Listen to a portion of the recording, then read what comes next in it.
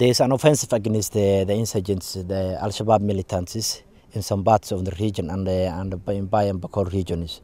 So a lot of people are displaced from their homes as a result of those, uh, as a result of those crises.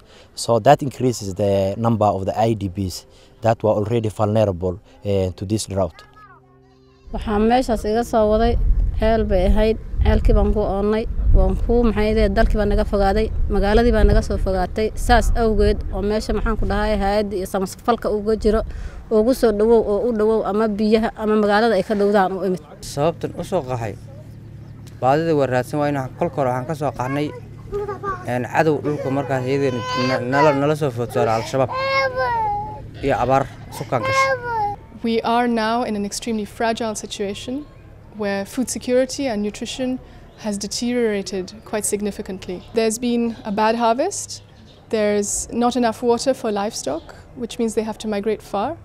Also, supply to the markets has been disrupted.